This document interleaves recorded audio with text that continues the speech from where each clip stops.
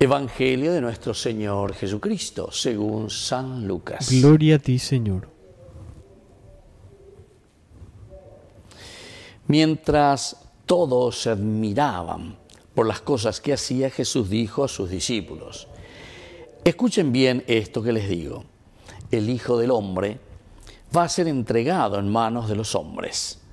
Pero ellos no entendían estas palabras su sentido les resultaba oscuro, de manera que no podían comprenderlas y temían interrogar a Jesús acerca de esto. Palabra del Señor. Gloria a ti, Señor Jesús. Queridos amigos, hoy estamos concluyendo nuestro mes de septiembre, el mes que le hemos dedicado a los jóvenes. Hemos rezado por ellos durante todo este mes también el mes, decíamos, de la primavera, que tenemos que renovarnos. Y terminamos con un gran santo de la iglesia, San Jerónimo, sacerdote y doctor de la iglesia. Hañañen Bohemigena por todos nuestros biblistas, porque San Jerónimo es entonces el santo que se puso a trabajar en la traducción, lo que se llama la vulgata, ¿verdad? La iglesia, desde un comienzo ha comenzado a trabajar ya estábamos con el Papa Damaso que le va a pedir a San Jerónimo, en ese momento Jerónimo aún, entonces viajar hasta Belén. Él entró allí, se metió, se enclaustró. Hasta ahora entonces lo que solemos visitar, Tierra Santa, vamos a esos lugares, visitamos la gruta de San Jerónimo, donde él tradujo la Biblia, el Antiguo Testamento, el Nuevo Testamento, pero sobre todo entonces desde lo que en ese momento eran los textos que se llamaban así disponibles originales, ¿verdad? Siempre es difícil encontrar un texto original de la Biblia.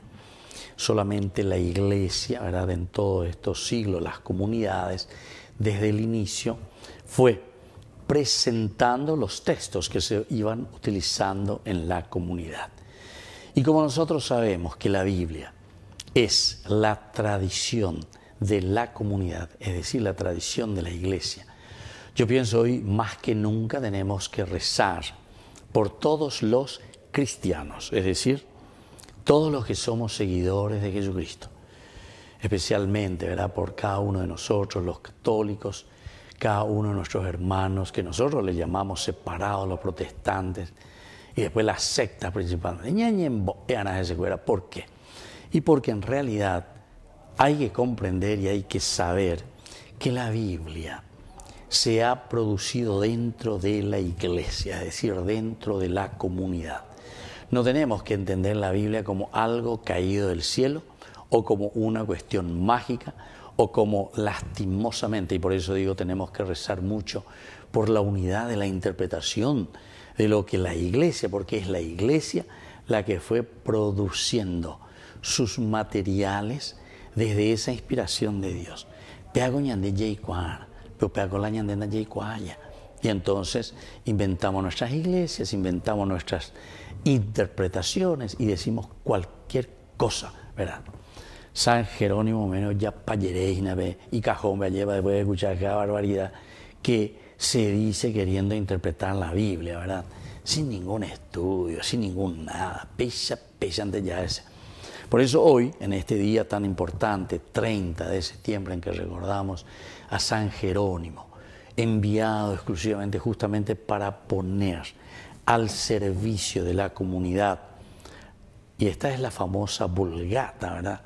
Del hebreo, del arameo, del griego, incluso la pesante y lleva al latín, ¿verdad?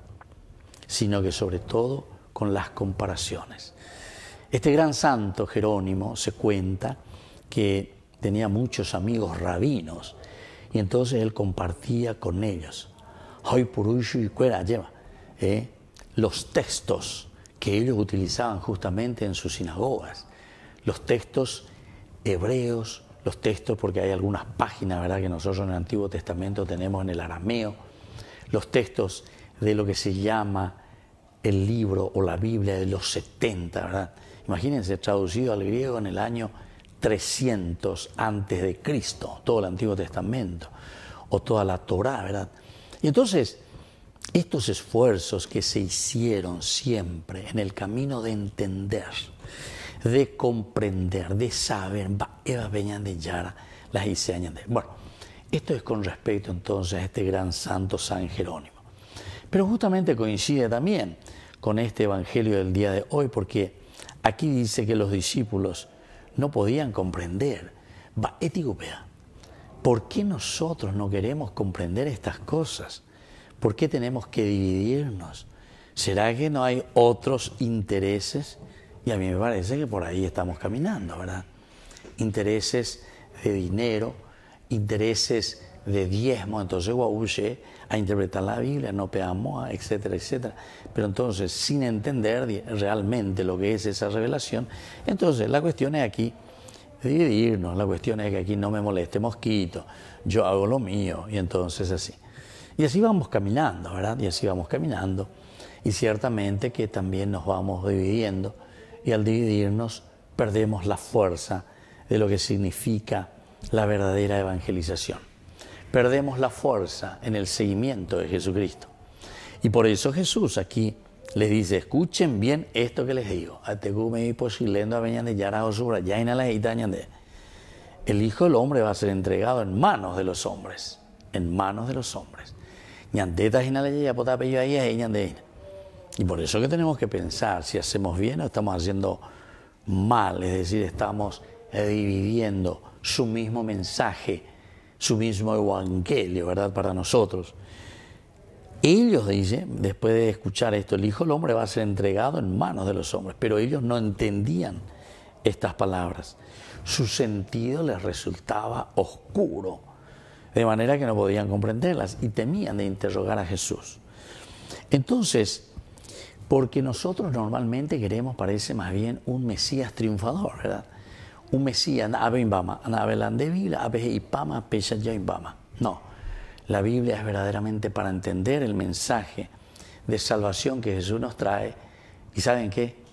El camino de esfuerzo, el camino de lucha que nosotros tenemos que asumir y sobre todo como comunidad. Peañande, nañantendero, nañantende sein de lleva, porque es demasiado claro. Aquí el Señor te dice, ¿verdad? que justamente el hecho de ser entregado en manos de los hombres significa que nosotros lo crucificamos porque no queremos escuchar lo que mamá, papá nos están pidiendo para que podamos hacer. Y entonces, nañantende y teo Hablamos de corrupción, ah, no, eso no. Usted habla de política, no tiene que hablar. Hablamos de irresponsabilidad, no.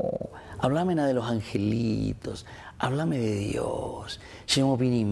ay, qué linda esa luz blanca que me circunda, esa aureola. Ay, uh, me encuentro no sé dónde. Ahí ve el cristianismo. Cristianismo es justamente aquí recibir, entender. va